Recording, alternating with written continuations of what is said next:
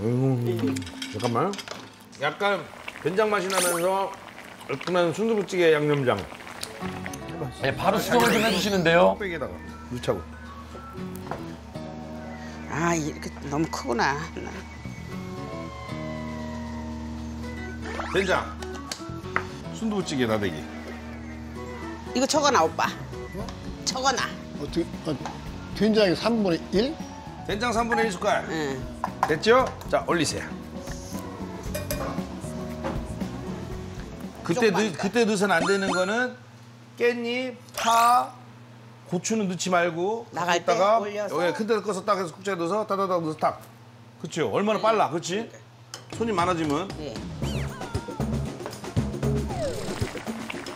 이거 대충은 우리가 지금 이렇게 대- 일단 만들어 보지만 나중에 사모님이 여기다가 연구해서 좀 더 업시 업시키면 돼. 어휴 좋아 씨. 자 그 다음에 마무리는 당면. 음. 아, 당면들을 넣어가지고.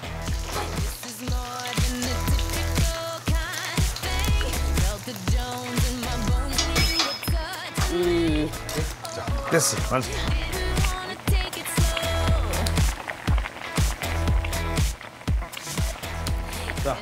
숟가락 아 맛있는 냄새. 냄새 어때? 냄새 좋네요. 그렇죠?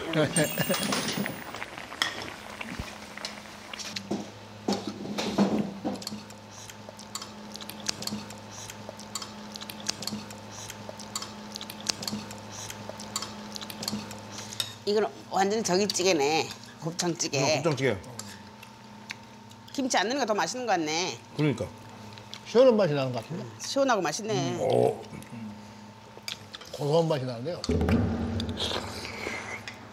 맛있네.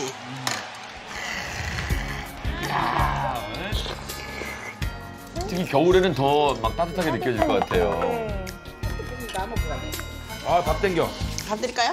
아니 장사해줘야지. 지금 내가 지금 내가 중요한 게 아니야. 아니, 이거 밥 해놨으니까 드세요, 조금. 내가 중요한 게 아니에요. 진짜. 요만큼이라도 드시면 빨리 돼요. 이거 만들었으니까 이거 갖고 테스트를 해보자고요. 네. 어? 누가 대답하나요?